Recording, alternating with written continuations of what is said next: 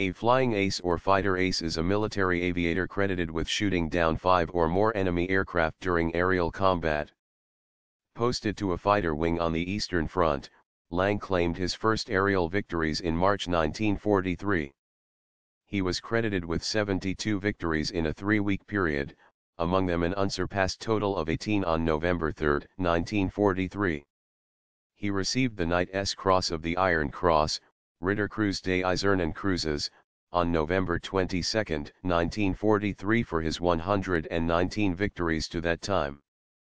By March 1944, his claims totaled 144, for which he received the Knight's Cross of the Iron Cross with oak leaves, Ritterkreuz des Eisernen Kreuzes mit Eichenlaub, on April 11, 1944. Transferred to the Western Front, he claimed his 150th victim during the Normandy invasion on June 14, 1944.